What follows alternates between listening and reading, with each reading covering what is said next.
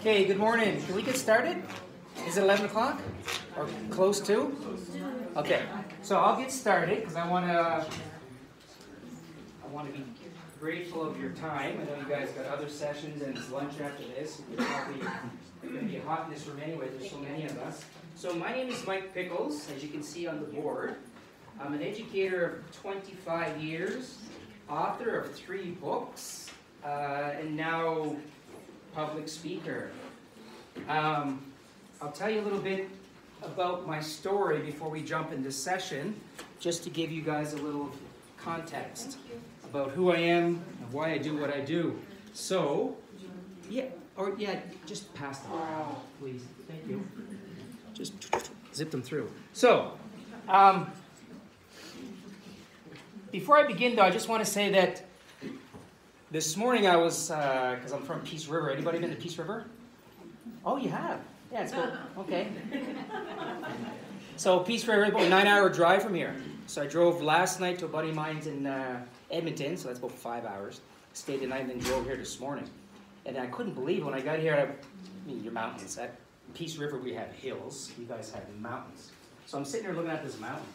It's like, wow, this thing's been here like for thousands, the beginning of time. And that's what I want to talk about today, the beginning of time.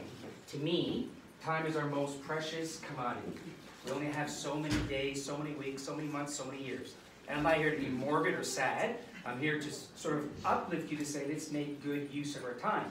So today, by the, by the time I'm finished, and a good crowd here today, by the time I'm finished, I hope you guys go home with some good takeaways, something you can start like as soon as you leave that door, you say, oh my God, uh, I, I, need to do this. I need to clean up my act. I need to do things a little bit different for whatever reason. I don't know your personal life, but we, we can all clean up our life a little bit better than we are. So my thing today is my takeaway for you, or your takeaway, I hope, is that when you go, that you can change your life for the better. And this is what this is, wellness and well-being. Are we all educators here, or most of us? Okay, most of us? Yeah. And educators, like nurses, you know, the, the medicine, the field of medicine, sometimes we give, give, give, give, give, give, and we forget to have time for ourselves. We forget to check in. Okay, we burn out. First three to five years, teachers what? They burn out, but they leave the profession. They're gone. Three to five years, we're gone. That's so sad. My degree took me four, and in three years you can be gone.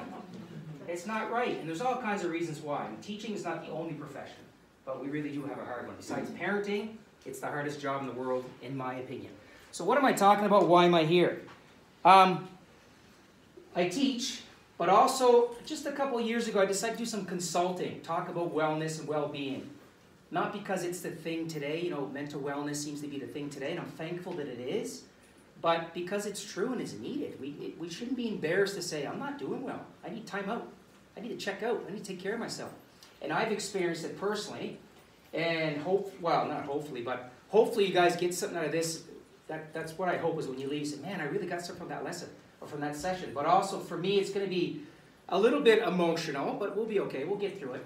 Because my dad passed away six weeks ago. So what I'm talking about um, hmm, is real. So I started a consulting business because people were going through life, myself included, without stopping, without checking in, without being genuine, without being real. So I was like, I can't, do this anymore. So I teach, but on the side, on weekends and whatnot, my apologies if I'm breaking, I'll, I'll, I'll come to in a second. Um, I said, I, I got to do something to help people outside, like